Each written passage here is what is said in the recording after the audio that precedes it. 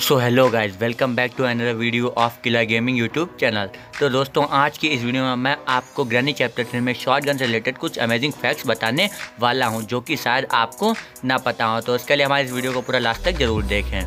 So the first fact is कि अगर आपके पास गन नहीं है शॉर्ट गन नहीं है, और अगर ग्रैंड पास सो रहा है तो आप उसके कमरे में जाकर शॉर्ट गन बहुत ही ईजिली ले सकते हैं।